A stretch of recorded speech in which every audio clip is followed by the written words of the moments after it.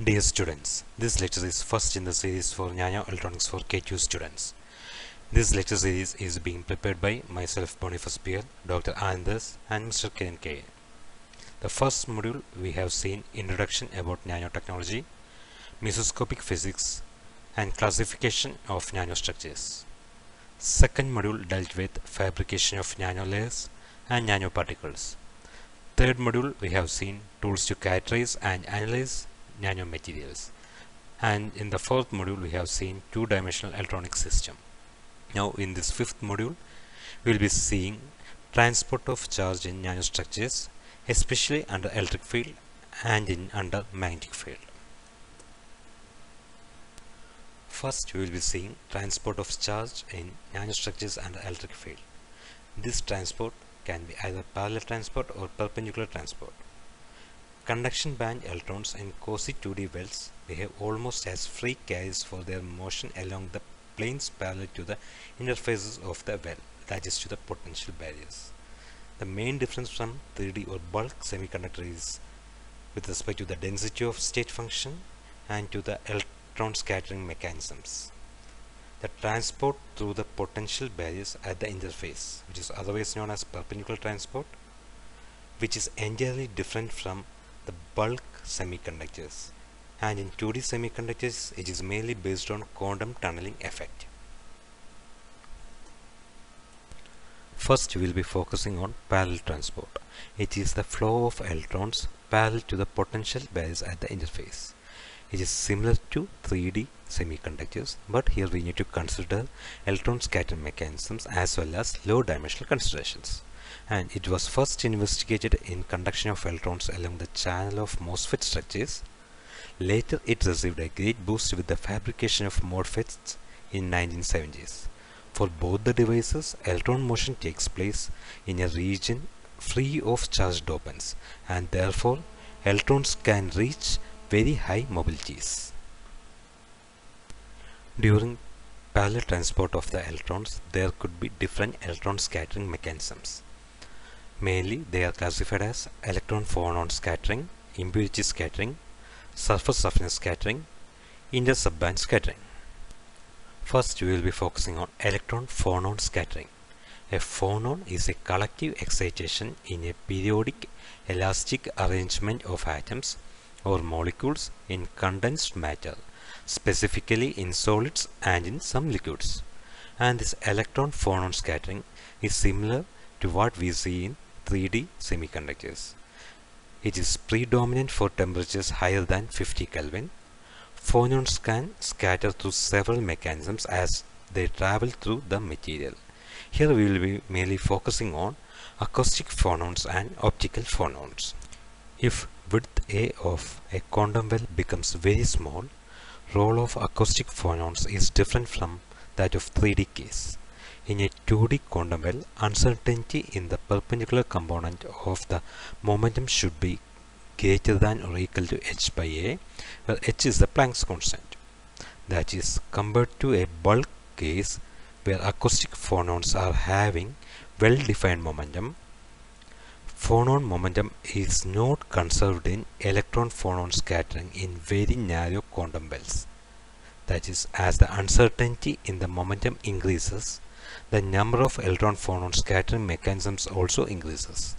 For this reason, phonon scattering becomes very considerable in low dimensional semiconductors. The case of optical phonons is quite different, especially for nanostructures of strongly polar materials such as third and fifth group compounds. Interaction is especially strong in the quantum wells when there is no overlapping between the optical phonon energy bands of the well semiconductor and the barrier semiconductor. Next is impurity scattering. As for 3D semiconductors, ionized and neutral impurity scattering constitutes the largest contribution to scattering in low dimensional semiconductors at low temperatures.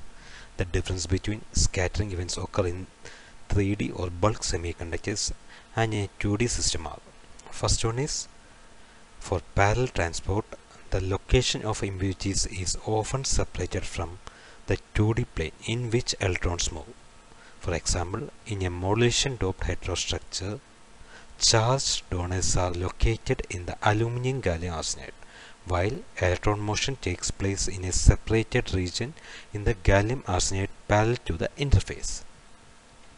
Similarly, in a MOS structure, electrons move within the inversion channel, which is separated from impurities located in the thin gate oxide. Interface scattering or surface roughness scattering is due to the interaction of electrons with a roughened surface. Role of interface scattering for parallel transport in modulation of heterostructures is not very important due to the high perfection in interfaces when growth techniques such as molecular beam epitaxy are used. In the case of MOS structures, interface scatterings become more important since the oxide is grown thermally and the interface is not as perfect as in the modulation dope heterostructure.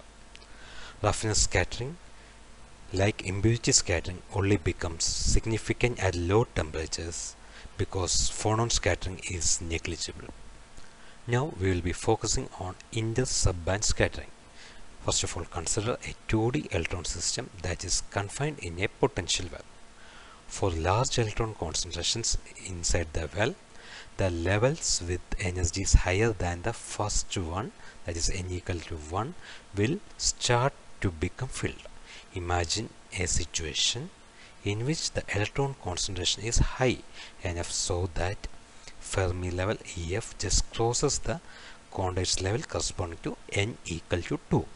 Then electrons with energies around EF can either undergo an interband scattering transition within the subband n equal to 2 or an interband transition between the subbands n equal to 1 and n equal to 2. That is, these electrons have two possible scattering channels and the total scattering probability should increase. As a consequence, the electron mobility should become smaller. This effect can be generalized to other subbands also. As the electron concentration in a quantum well increases, additional scattering channels start to contribute to the overall scattering rate and the mobility of the 2D electron gas decreases. Now we will see the concept of hot electrons in parallel transport. In some kinds of field effective transistors and in some nanostructures, electrons are accelerated to very high kinetic energies by electric field and these kinetic energies will be much higher than their energies at thermal equilibrium which will be in the order of k into t. After the acceleration by high electric fields, the electron energy distribution corresponds to an effective temperature higher than that of the crystal lattice and the electrons receive the name hot electrons. During their relatively short existence, they contribute to modification of the properties of the nanostructures. During this, the new electron energy distribution is said to be decoupled from that of the lattice. The electron distribution of average energy is given by E equal to 3 by 2 into K into TE, Uh, where TE is the effective electron temperature. This hot electron transport has been widely studied in bulk semiconductors and in nanostructures from 1980s. Studies of hot electron parallel transport in aluminum gallium arsenide, gallium arsenide heterostructures have shown that electron velocities under the action of an electric field are higher than in bulk gallium arsenide and the difference becomes larger at low temperatures. This is the plot of electron drift velocity against electric field for bulk gallium arsenide and aluminum gallium arsenide gallium arsenide modulation doped heterostructure. Here it is evident that in the bulk gallium arsenide the drift velocity is low and in the modulation drop heterostructure the drift velocity is high and the inference from this plot is that the increase in velocity has been attributed to the condensation of electron energies in quantum wells. The value of the velocity is especially high for the lowest subband that is E equal to E1 in comparison to the second subband that is E equal to E2. An interesting effect called real space transfer or RST arises for hot electron parallel transport. Which is the basis of new kind of high frequency devices. When the energy of hot electrons is high enough, some of them will be able to escape from the well. In an gallium arsenide, aluminum gallium arsenide, gallium arsenide quantum well, for which the electrons are transferred in real space from the undoped gallium arsenide to the surrounding aluminum gallium arsenide doped semiconductor. In a low dimensional electronic device, electrons can be transferred from a high electron mobility material to one with a lower electron mobility as the voltage between source and drain is increased. If we are considering a gallium arsenide aluminum gallium arsenide heterojunction, the gallium arsenide is having high electron mobility and aluminum gallium arsenide is having low electron mobility. Here electron transfer will occur from gallium arsenide to aluminum gallium arsenide. As a consequence, a negative differential resistance region in the current against voltage characteristics is observed. Negative differential resistance effect leads to new kinds of devices such as resonant tunnel transistors. Here the diagram A is the schematics of RST mechanism. Diagram B is the structure of a device based on RST. Diagram C is the current against voltage characteristics. Here we are considering a gallium arsenide, aluminum gallium arsenide, gallium arsenide heterostructure. Once we apply a voltage between drain and source, there will be electron flow from high electron mobility material to low electron mobility material. Here, gallium arsenide is having high electron mobility and aluminum gallium arsenide is having low electron mobility. So, electron transfer will occur from gallium arsenide to aluminum gallium arsenide as we increase the voltage between drain and source. Hence, we will be having a negative differential resistance region in the current against voltage carrier. Now we will be seeing the concept of ballistic electrons and velocity overshoot effect. In bulk samples, that is in 3D semiconductors, transport under the action of electric fields is studied in regions of dimensions much larger than the electron mean free path. But in modern field effect devices, the source drain distance and the gate lengths are of very short and which will be in the order of hundreds of nanometers. Therefore, electrons can be accelerated under the action of an electric field without suffering any collision. And these electrons which are not suffering any collisions are called ballistic electrons.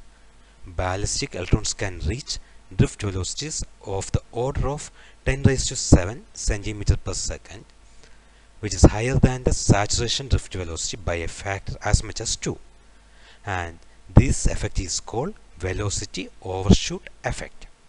This is the structure of modulation doped field effective transistor we were talking about. MODFETs are similar to metal semiconductor field effective transistors but with the difference that MODFETs are made of different kinds of semiconductors that is heterojunction. The two different semiconductors create at the interface a very good conductive channel which is referred as 2DEG or two-dimensional electron gas. Two-dimensional electron gas is a scientific model in solid-state physics which is free to move in two dimensions but tightly confined in the third dimension. The mobility of electrons in this channel is very high. To deplete the channel, a negative voltage must be applied at the gate. The voltage needed to deplete the channel is called threshold voltage. Next, we will be focusing on the concept of perpendicular transport, which is the study of the motion of carriers perpendicularly to the planes of potential barriers separating the quantum heterostructures. This kind of transport is often associated to quantum transmission or tunneling because carriers may not have enough energy to overcome these barriers. When a particle goes through a potential barrier, the wave function and its derivative must be continuous. Tunneling through potential barriers will also lead us to the concept of negative differential resistance in the current against voltage characteristics. This phenomena was already observed by Esaki in 1957.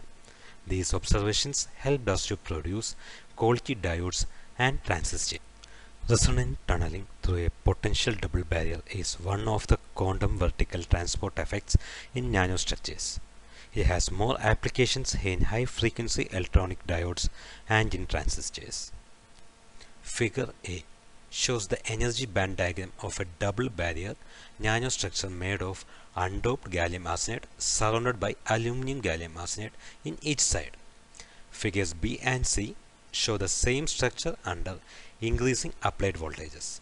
Figure D is the current against voltage characteristics for the gallium arsenide aluminum gallium arsenide nanostructure we are considering.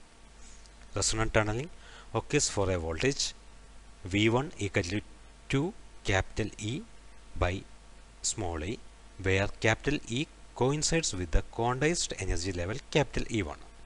In this situation, Fermi level EF of the metallic contact on the left coincides with n equal to 1 level in the well. Then the tunneling transmission coefficient approaches unity and a large current flows through the structure. As the voltage increases over 2 E1 by E, Fermi level EF surpasses E1 and the current through the structure decreases. Evidently, for high values of V, the barriers that electrons have to tunnel become much smaller and the current increases again. The most important feature in the IV carrier is that after the maximum value, the slope of the curve becomes negative. That is, there exists a region with negative differential resistance. Before winding up, we will go through a summary of the points we have discussed in this session. In this session, mainly we have focused on transport of charge in nanostructures under electric field. This transport can be either parallel transport or perpendicular transport. Parallel transport is the carrier motion along the plane parallel to the interfaces of the quantum well. The parallel transport of carriers is similar to what we observe in bulk semiconductors. But in case of 2D semiconductors, we need to consider the characteristics of density of state function and electron scattering mechanisms such as electron phonon scattering, impurity scattering, surface roughness scattering, and inter-subband scattering. Then in parallel transport we have seen hot electrons. Hot electrons are electrons which are accelerated to high kinetic energy by electric field.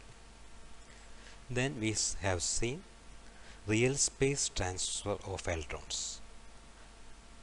Because of that electrons are transferred from high electron mobility material to low electron mobility material which will result a negative differential resistance in the current against voltage characteristics. Then we have seen ballistic electrons and velocity overshoot because of the low dimensions of nanostructures which is smaller than electron mean free path. And finally we have seen the perpendicular transport which is the carrier motion along the plane perpendicular to the interfaces of the quantum well. The, there we have focused resonant tunneling and we have seen negative differential resistance due to resonant tunneling. Thank you.